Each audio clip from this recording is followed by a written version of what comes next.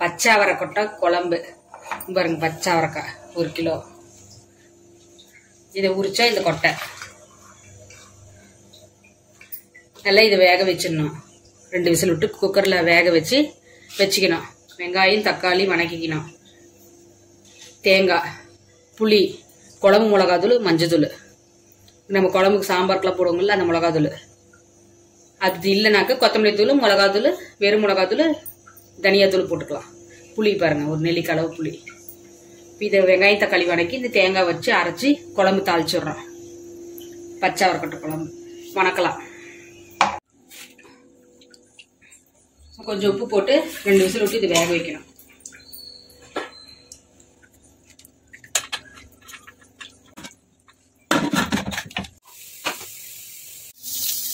Thank you.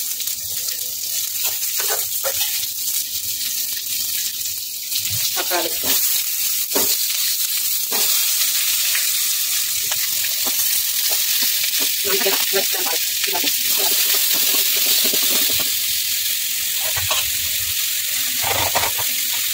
போட்டு வச்சிருக்கிறோம். இதை அரைச்சிட்டு வந்து குழம்பு கூட்டி வைக்கலாம்.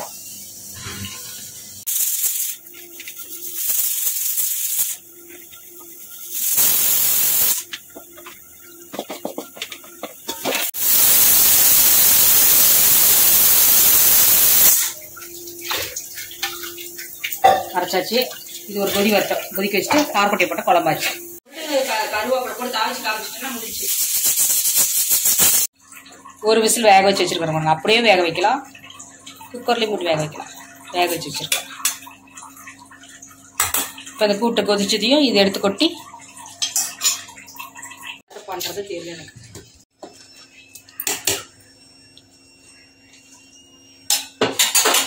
கொதிக்குது.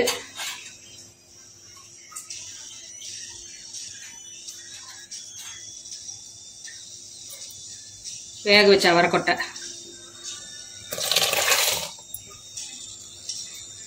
இது இப்போ நல்லா கொதிச்சிச்சுன்னா தாளிச்சிட்டு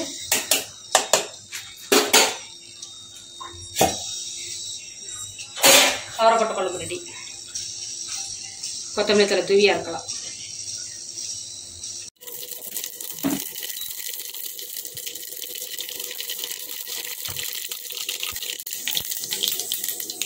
குழம்பு தாளிக்கணும் கருவேப்பிலை கடுகு சீரகம் போட்டு தாளிச்சு.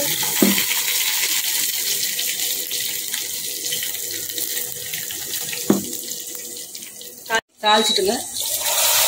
அதில் ஊற்றுறேங்க